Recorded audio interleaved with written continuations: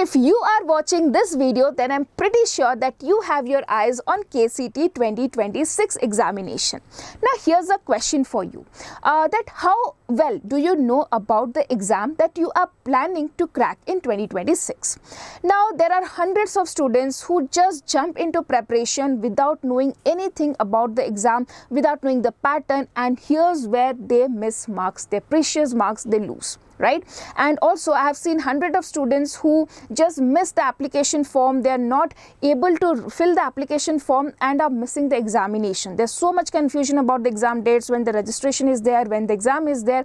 And all this confusion can be cleared if you watch this one particular video where i'm going to break down everything about kcet 2026 examination. So in this video we will be talking about the exam pattern the tentative dates the syllabus the resources and some beautiful and smart preparation tips that will help you to ace this examination, right? So let's talk about the introduction. Why should we write this KCET examination? What, with, what it will give us? So if you qualify with good rank for this KCET examination, then what all courses are available for you. So you can take admission in engineering, architecture, naturopathy and yoga veterinary okay? You can take for veterinary b pharma second year b pharma and pharma d. Farm science courses where it includes bsc honors in agriculture bsc honors in sericulture etc bsc nursing medical dental ayurveda unani homeopathy bpt bsc allied health sciences bpo professional courses. For medical and dental you don't have to give the kcet examination but you have to register for kcet okay i'll be uh, discussing that. And these all courses colleges you can go where if you are interested in the most loved state of the country that is Karnataka. So if you want admission in Karnataka then you have to uh, you have to write this particular examination. Okay? Now second thing that we are going to discuss is the exam uh, pattern but before that there are different courses I told you right. So if you are interested for engineering then what all subjects you have to study or what all subjects you have to give exam. So physics, chemistry and maths is mandatory. If you want farm science physics, chemistry, maths and bio is important. If you are planning for B Pharma, then physics, chemistry, maths you can write or physics, chemistry, biology is also fine. Next for veterinary science and animal husbandry, naturopathy and yoga and BSc nursing, physics, chemistry and bio is required. So now you decide which stream or which course you want to study and based on that what all subjects are important for you and start making these subjects your strong point from now onwards. Okay? Now let's move to the next thing that is exam pattern which is very very important. So first of all nowadays when many exams are conducted in online mode kcet still follows offline mode that is pen and paper test. Okay? In the medium you have a choice. Here you can select english medium or kannada medium and then the number of sessions see so the number of sessions are actually four but i have taken it as a uh, engineering background. So i'll write it actually four. You have okay physics chemistry maths bio four sessions the exams are conducted. Okay for every subject there is one exam. Physics is will be conducted in one session chemistry in another session biology in other other session and maths in another session. Okay so it is subject wise sessions are there four sessions are there. Okay but generally when i talk about this it refers PCM because we are more interested about the engineering courses. Now what is the question type? Question type is MCQ and the exam duration for each session okay it is 1 hour 20 minutes okay and number of questions in per session or per subject again it is 60 questions okay. Now moving forward here I'll give you an example of 2025 timetable how these four sessions are conducted. So if you see the in 2025 on 16th of April the exam was there and on Wednesday that is in the morning 10:30 to 11:50 we had physics examination 60 questions and in the afternoon 2:30 to 3:50 we had chemistry with 60 questions. Now coming to Thursday we have 10:30 to 11:50 mathematics 60 questions and 2:30 to 3:50 biology 60 questions. So these four sessions sessions are conducted in two days, one in the morning and one in the afternoon session. Okay, and each session has 60 questions. I hope this is clear. And we are generally interested in physics, chemistry and maths because we will, we will be more talking about engineering courses. Okay. Next, exam pattern is clear. Now we'll talk about the marking scheme. Okay. So, if I consider the three sessions physics, chemistry and maths, each section has 60 questions. So, the total number of marks is 180 okay? And if you talk about the marking scheme you will get plus 1 for every correct answer and 0 marks for uh, wrong answer. That means there is no negative marking which is a good point of this examination. Okay? No negative marking.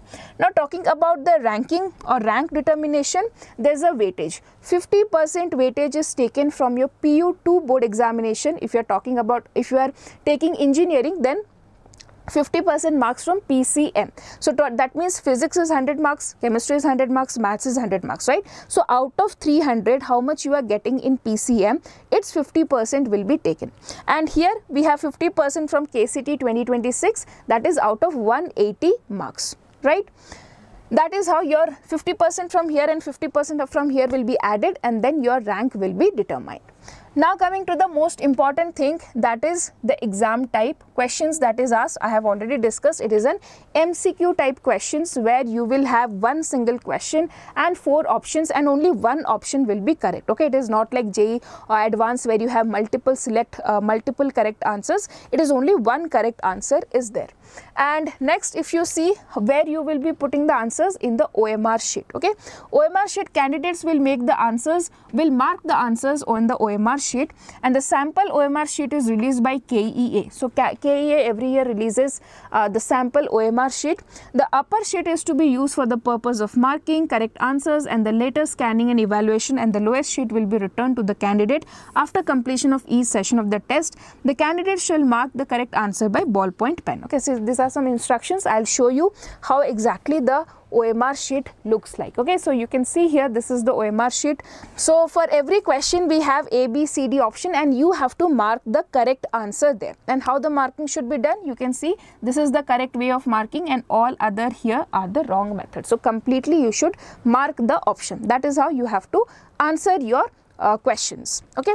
Now moving towards the next that is tentative date. So I have the complete schedule of 2025 okay and we will be telling or predicting it for 2026. So the first one is the notification. The notification is out on 16th of January in 2025. So you can see also in 2026 regarding or in the second week of January mostly you will get the second or third week you will get the notification okay. Now once the notification is released the application form will start where you can fill the application form for the exam. On 2025, it was on January 2023 and so you can predict in 2026, third week of Jan, the application will start. Then the last date of registration for KCET was Feb 24 so almost one month time is given. So here also we can expect on last week of February. So you will get one month time to fill the application form. And once there is uh, fee payment last date was 25th of February. So same we can expect here also. Application correct facility. So if you have in this application you have to put all your details like your uh, if you have any particular reservation its certificate if you're claiming any quota its certificate everything you have to put here while registering for the uh, examination. Now, if you have any uh, corrections you want to change or correct it, so in the month of May again you will get time for doing that okay? After this the admit card of kcet will be released on 6th of april. It was released in 2025 so you can expect in the first week of april you will get the admit card. After that we have exam. This year it was on april 16th and 17th so in the third week of april 2026 we can expect the examination. Next provisional answer key was out the next day. Same will be happening this year also. The objection window. So if you have any uh, thing that the, the, this question answer was wrong this question answer was correct some objection objection is there. You can raise it within 4 days time will be given and final answer key will be released on 25th of April so or we can say in the last week of April. After that offline KCET document verification takes place okay?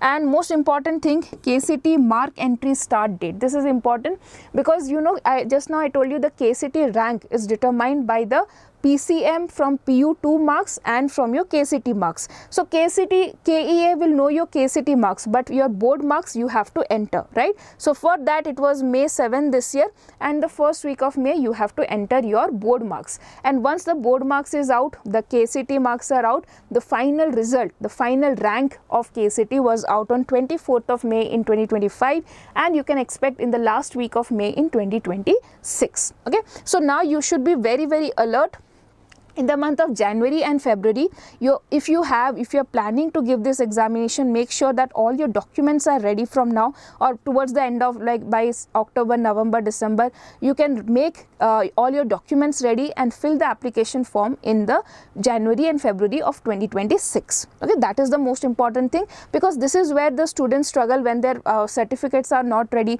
when they don't uh, so just go to the website and you can check what all certificates documents are ready so that you can keep it uh, already ready before the application starts and once the application starts easily you can uh, submit all your documents right? Because with documents there's so much challenges regarding verification and all. So now let's talk about syllabus. So the syllabus is nothing but pu1 and pu2 syllabus. So for maths if i tell you for pu1 you have a sets relation functions trigonometric functions complex numbers and quadratic equations linear equations permutation and combination binomial theorem sequence series straight line conic sections 3d geometry limits derivatives statistics and probability. And coming to pu2 you have relation function inverse trigonometric functions, matrices, determinants, continuity and differentiability, applications of differentiation, integrals, application of integrals, differential equation, vector algebra, 3D geometry, linear programming and probability. You can take a screenshot or these are your PU1 and PU2 chapters. Now moving towards the if you see physics syllabus okay so in physics also you have pu1 and pu2 chapters okay the list is here. So 14 chapters in pu1 and 14 chapters in pu2 so we have units and measurements motion in a straight line motion in a plane laws of motion work energy and power system of particles and rotational motion gravitation mechanical properties of solids mechanical properties of sorry this is fluids okay then we have thermal properties of matter thermodynamics kinetic theory oscillations and waves. And coming to physics pu2 we have electric charges and fields electrostatic potential current electricity moving charges and magnetism. You have electromagnetic induction alternating current electromagnetic waves ray optics wave optics dual nature of radiation atoms nuclei and semiconductors and electronics. Okay so these are the chapters of pu2 now moving to the Next chapter, next subject that is chemistry. So we have total 19 chapters here.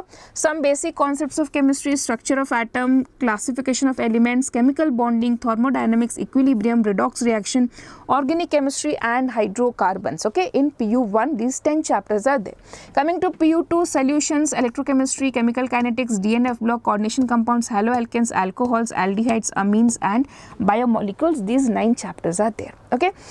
Now we'll move to biology. So biology is not required for engineering, but if you're planning for other branches like uh, nursing or uh, pharma sciences or veterinary sciences then biology is required. So you have to do these chapters. Pu1 we have these many chapters. So living world biological classification, plant kingdom, animal kingdom, morphology of flowering plants, anatomy of flowering plants, structural organization in animals, cell the unit of life, biomolecules, cell cycle and cell division, photosynthesis, respiration, plant growth, breathing, body fluids, excretory, locomotion, neutral and neural control and coordination and chemical coordination and integration.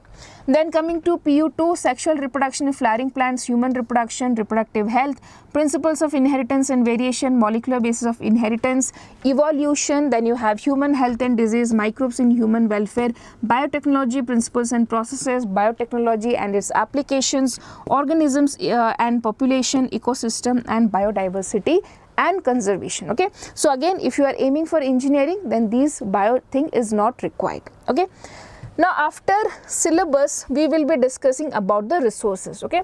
So resources are very very important and you should be knowing what exactly is the correct resource that you should follow and if you have any other like uh, uh, if you're referring to multiple resources the thing is that you will not get, get time to complete the syllabus first of all.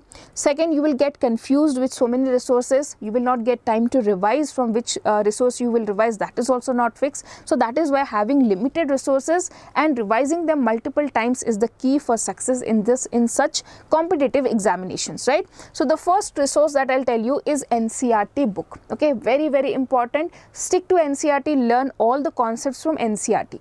Second, make your own short notes. Okay, this is the most important one because during the exam for revision, we will need, need short uh, short notes.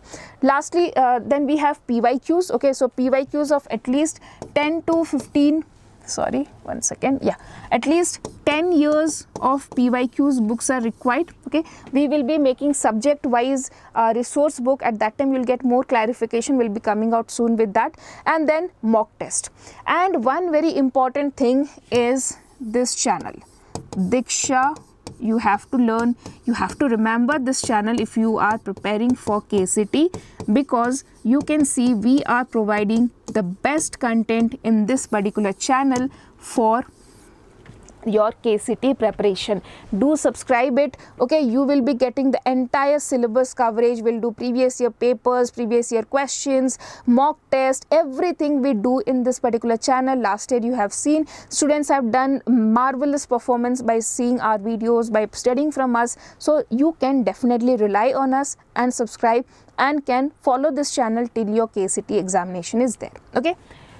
Now moving to the next thing we have is some preparation tips. So I'll tell you some basic tips that you should follow but we will come up with a detailed strategy also. So here are some tips for you. First of all start with NCERT plus state board basics. So remember in this chapter in this uh, examination concepts of high level are not asked okay? It is a general concept from your NCERT books is asked but the thing is you have just 60 minutes. I have uh, for 60 questions sorry 80 minutes for 60 questions. So time is the one which is very very important here. So you don't have to read big big concepts. You have to read the basic concept and you have to be very thorough with that and you have to revise it multiple times and solve n number of questions Next we have make formula sheets and quick revision because this is the one which helps you to revise quickly during the examination time. Solve past years papers regularly okay just uh, uh, on weekly monthly basis you should be solving questions. Practice time bound mock test okay so because you know in exam we have just 80 minutes so giving time and then preparing the questions is the best way. Then focus on speed and accuracy and last month is should be only for revision and mock test okay? So these are some general preparation tips i have. So that's all in this video and i hope you have got a clarity about KCET examination and what else do you need what information you need more. Do let me know in the comment section. I'll definitely make a video on that. And thank you for watching. Keep smiling and keep studying